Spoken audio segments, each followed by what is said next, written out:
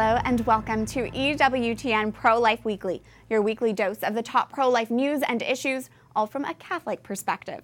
I am your host, Catherine Hadro, in our Washington, D.C. studio. Thank you for joining us.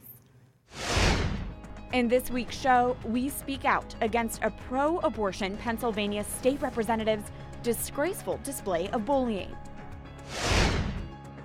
A pro abortion actress makes an accidental case for abstinence. We address the role of chastity and sexual integrity in the pro life movement. And this. They can expect hope. They can expect to be to be greeted with with care, with skill, and, and especially with love. We introduce you to a line of pro life facilities where women truly are at the center of their care. But first, our top story a third Democratic governor rejects Born Alive legislation to protect babies who survive abortions. Montana Governor Steve Bullock last week vetoed the state's Born Alive Infant Protection Act, which would have protected babies born alive from failed abortions. This week, Bullock announced he is seeking the Democratic presidential nomination. Bullock's veto follows North Carolina Governor Roy Cooper's veto of similar legislation, and Wisconsin Governor Tony Evers comments that he rejects the Born Alive bill in his state. For a reaction, we speak with a governor who affirms life.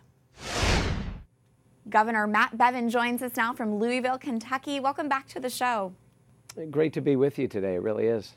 Governor, we have seen in recent days and weeks three governors, all Democrats, reject their state's version of Born Alive legislation, which protects babies who survive abortions. The governors of Wisconsin, North Carolina, and now Montana.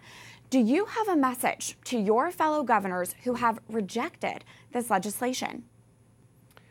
Again, I can't speak for another person. I can speak for my thoughts on this. The arguments that I've heard that it somehow doesn't serve a purpose, that it's perhaps redundant, that we already have such laws on the books. I'm not sure that we do, and that argument is fairly weak. It would seemingly be the same argument you might say for why have airbags in a car, because we already have uh, a seatbelt. Mm. Uh, to, to protect a human life and to ask a doctor to take responsibility for protecting that human life and to hold them accountable if they do not, especially given that they have taken an oath to do so and, in fact, uh, are licensed to do so, would be irresponsible. And I would just encourage governors be bold. Don't be politically opportunistic. Don't be beholden to outside interests that are going to help you politically but be bold and do the right thing. All of this discussion of Born Alive bill comes in the wake of extreme abortion legislation we are seeing pop up in various states, including in New York. Governor, what role do states' rights play in defending the sanctity of life? What can be done at the state level? Well, if you look at the 10th Amendment of the U.S. Constitution, it says that these particular uh, responsibilities of the federal government, not spelled out in the Constitution, are the responsibilities of the states and of the people. And prior to Roe v. Wade, that's exactly how this particular issue is handled the question of life and of abortion and the delivery of abortion. But Roe v. Wade read into the Constitution through penumbras and emanations, things that didn't actually exist there. It was a travesty of the, the court. And uh, the net result of it was uh, the decision to take away from the states the responsibility that was theirs. I think this will ultimately be returned back to the states. In the meantime, states like ours have passed very uh, intentional laws related to things like informed consent and ultrasounds. We won this uh, at the Sixth Circuit. We've also had laws passed against a 20 week ban. That has not been challenged. We've had laws uh, passed that would outlaw the incredibly brutal uh, practice of dismemberment of a live uh, baby in the womb. Uh, and then we also have a couple of more recent bills as well a heartbeat bill uh, that is being challenged right now in federal court.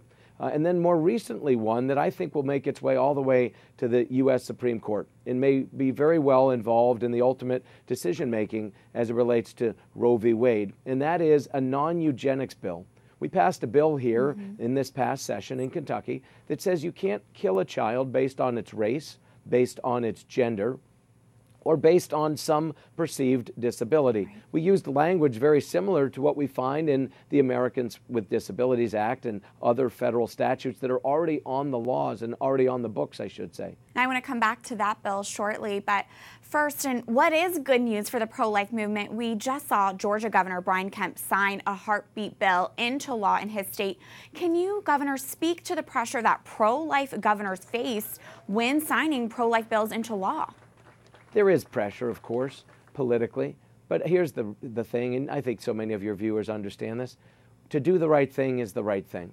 And sometimes, of course, in pol- politics and in other areas, it's easier for some to do the easy wrong than to do the difficult right.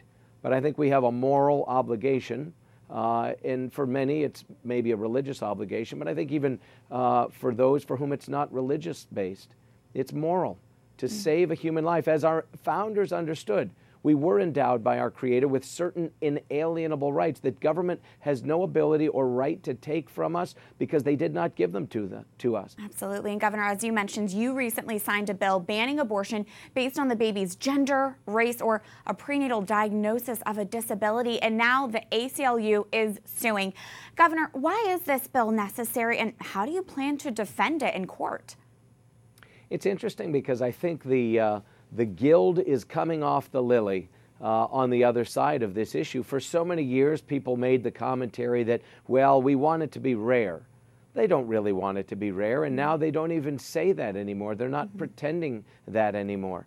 And so the ACLU, among others, is quick to sue, as are attorney generals. I've been sued on many of these by my own attorney general, and in fact, he refuses to defend these, even though they've been overwhelmingly passed by our legislature.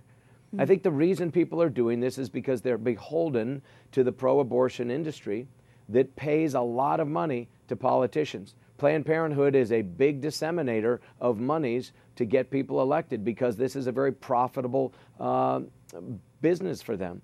And so, what is it that, that folks like myself can do? Just continue to stand firm. We have a responsibility to do so. Are we going to be sued? Yes, that's okay. We are standing on the side of what is right. And just as there have been laws of the land overturned in the past, like the Dred Scott ruling of 1857 that said blacks were not human, that they were two thirds of a human, that they could be bought and sold and treated as property, there were people that were outraged and said, This is not right. The same battles are going on today. And just because it has been previously ruled upon does not make it right. And so we are standing firm and we will continue to do so, regardless of the money and the reasons and the, and the, just the evil, frankly, uh, that is opposing us on the other side of the equation. Right. And finally, Governor, we only have a minute left. I'd like to get your quick reaction to recent video that's been circulating of Pennsylvania State Representative Brian Sims harassing a woman who is praying outside of a Planned Parenthood. As a husband and a father of nine, what do you want to say to pro abortion men who harass and bully? Grow up. Uh, you know, really act your age. This kind of irresponsible behavior, and, and then streaming it, filming yourself, this sort of voyeuristic, uh, narcissistic approach uh, to trying to garner attention for yourself uh, is pretty pathetic, frankly. And I would encourage those uh, that were on the receiving end of that to prosecute that to the fullest extent of the law.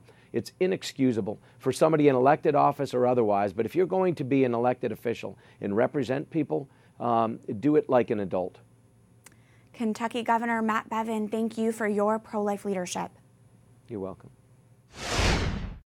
To continue our conversation, we're joined now by Marilyn Musgrave, a former U.S. Representative for the state of Colorado and now the Vice President of Government Affairs for the Susan B. Anthony List. Congresswoman, welcome back. It's good to be here. What was your reaction to this latest veto of the Born Alive legislation?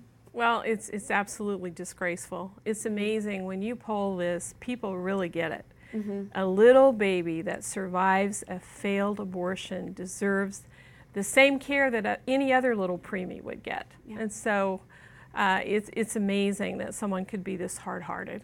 What role then can a pro life governor have in upholding the sanctity of life at the mm. state level? Well, they can make all the difference in the world. You know, I was in the state legislature in Colorado, and uh, the governor is the head of the state. And if mm-hmm. a governor is pro life and going to sign pro life bills into law, like Matt Bevins mm-hmm. in Kentucky, oh my goodness, they've banned dismemberment abortion. They've banned abortion that would discriminate against a baby based upon its sex, race, or disability. The heartbeat bill has been passed. So it sends a signal to the legislature I'm here for you and I'm going to sign those bills into law. Very different mm-hmm. than what mm-hmm. Governor Bullock did in Montana. And you know, I thought he was looking to have his image be one of a moderate, hmm. but that is, uh, you know, vetoing Born Alive that's not a moderate position. It's very, very extreme. Very extreme. And Congressman, we are seeing Democratic presidential candidates get asked about Born Alive legislation, and they are just flat out denying that this kind of legislation is necessary. So, what advice do you have for viewers if they hear that kind of talking point from others? Well, first of all, don't accept that. Mm. You know, there's not very good reporting on abortion from states, and there's mm-hmm. a reason for that. You know, the pro abortion crowd doesn't want voters to know what has happened in their state, but we do know from the Center for Disease Control that between 2003 and 2014, there were at least 143 babies that were mm. born alive during attempted abortions. We do know that in the last few years, over five states, there have been like 23 babies born alive. And in Florida alone, in 2018, there were six babies that were born alive, and we don't know what happened to them. Mm. But we do know that they should be given the same care that any preemie would receive. We need better reporting across the country. But yes, it is factual that babies survive abortion, and those precious little babies deserve medical care. Absolutely. And finally, you were at that massive pro life rally in Philadelphia last week in response to State Representative Brian Sims' harassment of pro lifers praying outside of a Planned Parenthood. What was your message there at that rally? I'm appalled mm-hmm. that a state representative would act that way towards an older woman, mm-hmm. uh, towards teenage girls. And how sad it is, though, that he is so angry over this. And here we were I mean, I couldn't see the end of the crowd to my left or to my right. It was a beautiful crowd of pro life people, uh, very loving, very gentle, but very firm in saying, We will be here. We will be praying on the sidewalks. We will be defending innocent life. We're not going to go away, mm. even if you bully us. That is powerful. Thank you so much for being there and for being here. Marilyn Musgrave of the Susan B. Anthony List, thank you for being here. It's always great to be here. Thank you, Catherine. Thank you.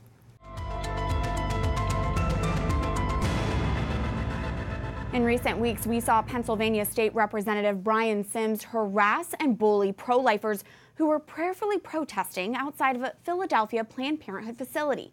The pro life movement was quick to respond and in a peaceful way. About 1,000 people gathered last week at the rally against bullying. It was a beautiful example of how the pro life movement is a movement of love.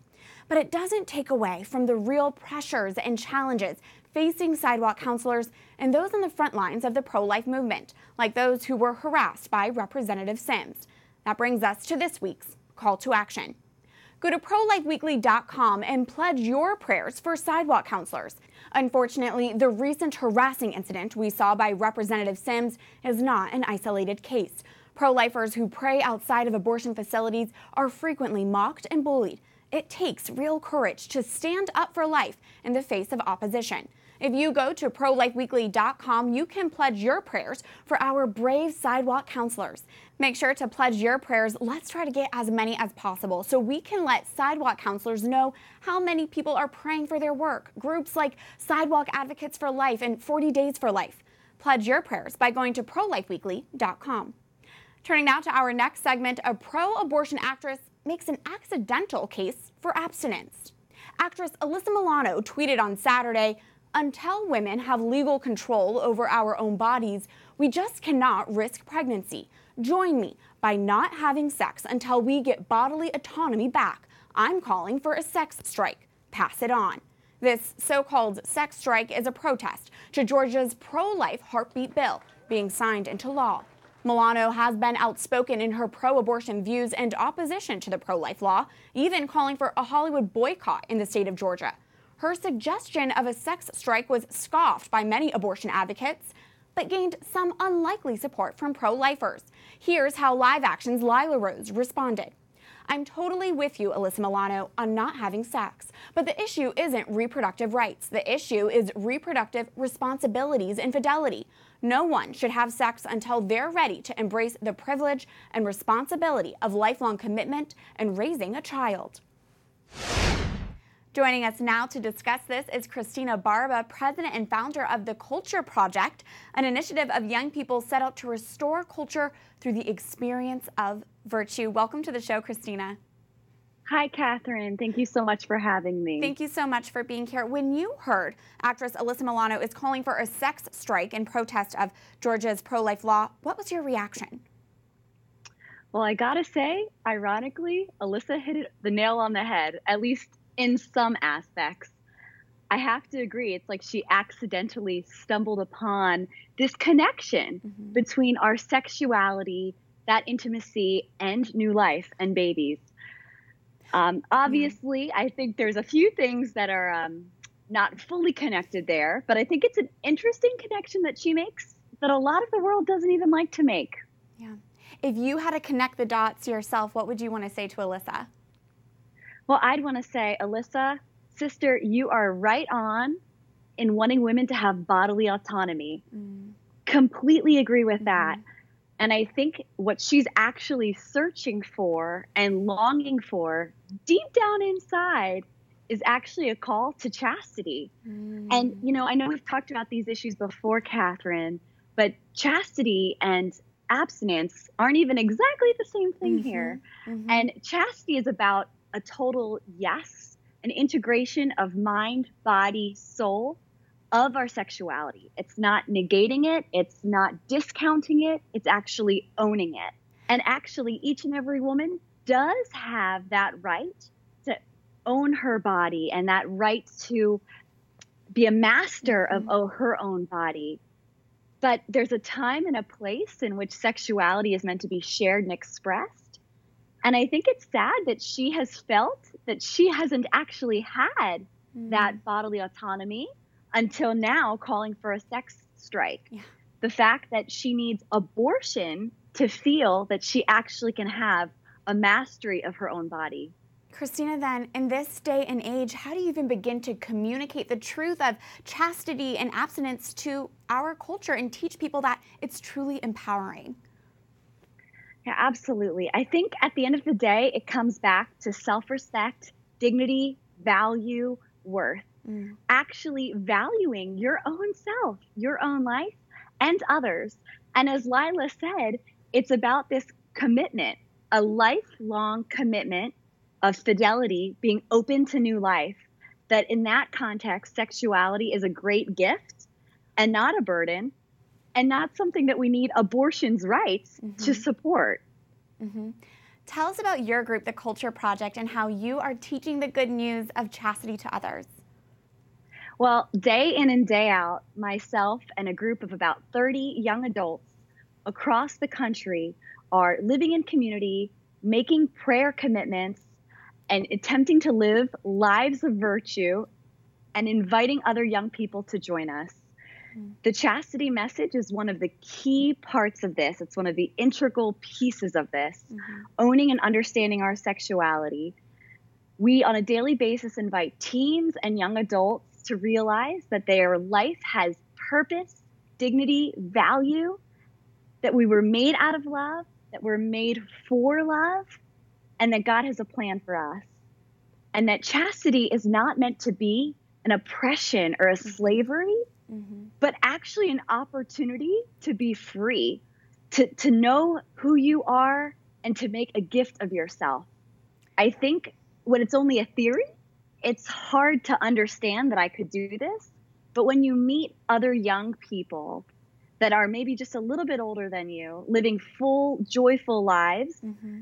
it kind of gives you like an image and it makes you think maybe I can try. Why not? Maybe I could have that freedom. Maybe I could have that joy.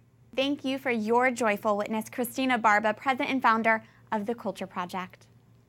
Thank you, Catherine. When we come back, it's encouragement that you can do this, you know, we're all in this together. Hear how a line of pro life centers encourage and empower women to choose life. Stay tuned as EWTN Pro Life Weekly continues after this break.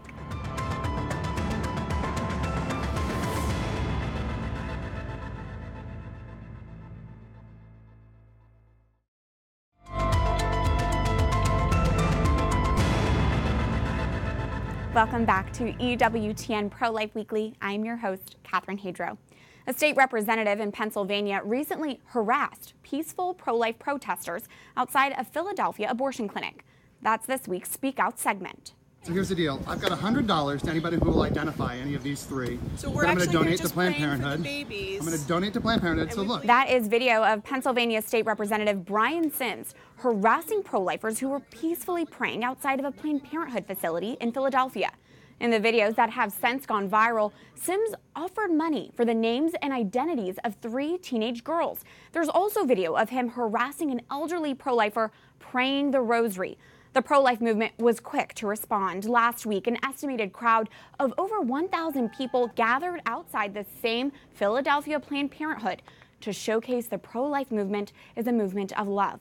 The rally was led by pro lifers including Abby Johnson, Matt Walsh, and Lila Rose.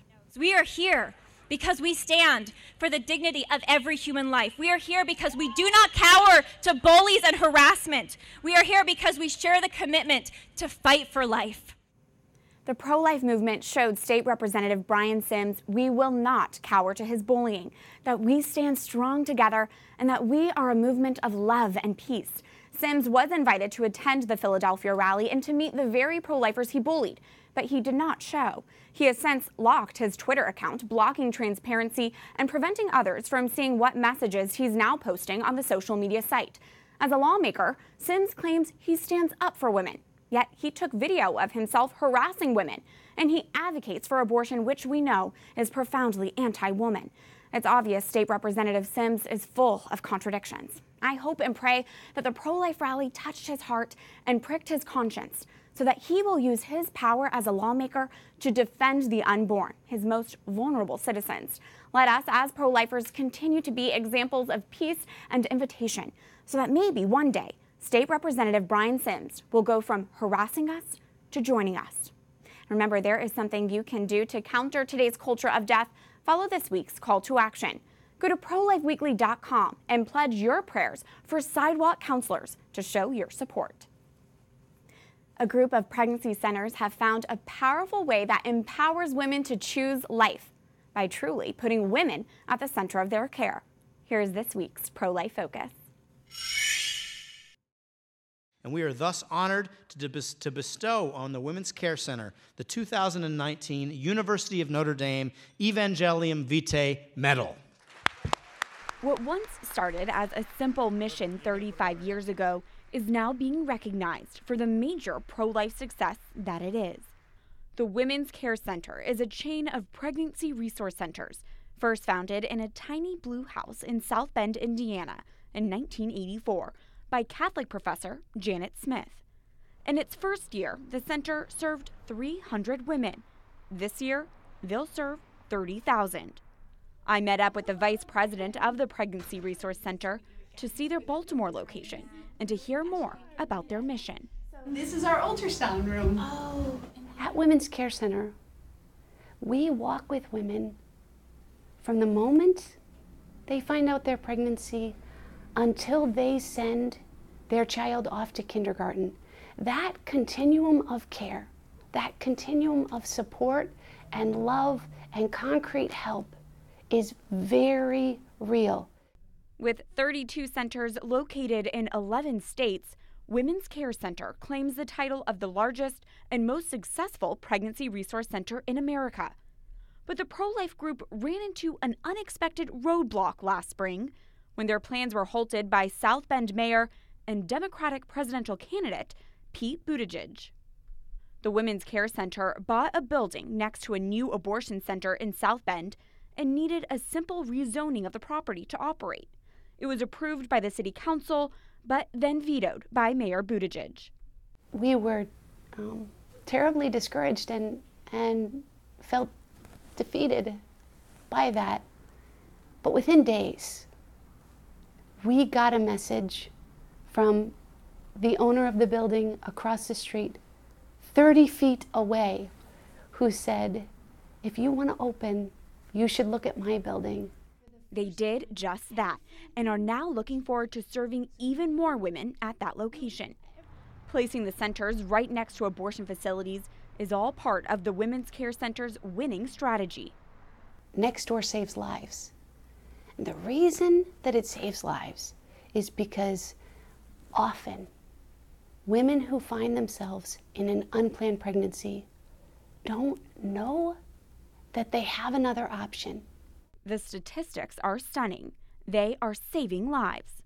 Not only do more than 9 out of 10 women choose life, the abortion rates in the communities that we serve drop dramatically. So, in our home community of, of South Bend, um, St. Joe County, the abortion rate since we've opened has dropped 75%. That is real care. But Women's Care Center is quick to share the real reason behind their success. The real secret is love. That's what's great about the Women's Care Center. It's so welcoming and so beautiful that when people walk in, they just automatically feel at home.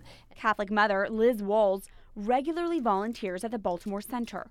She's seen firsthand the positive impact it can have on women who walk in these doors, where all for free they can receive baby clothes, diapers, and supplies, counseling, an ultrasound, and attend parenting classes, which Walls teaches here. My big message, no matter what the topic is, is just to encourage them in their parenthood. In their parenthood, that's exactly what we all need as parents. Is just encouragement. You know, um, all the the resources are out there. You know, to find out information about bathing, you know, routines, manners, reading, all the important parts of being a parent. But really, it's encouragement that you can do this, you know, we're all in this together. It's even become a family affair, with her children also coming to serve.